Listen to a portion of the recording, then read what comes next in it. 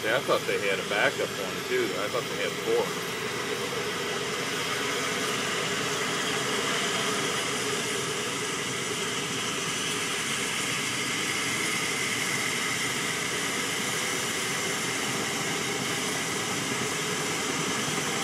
Now when they had that purple feeder eater, that, that was a sled, right? Yeah. That, that was a bitch.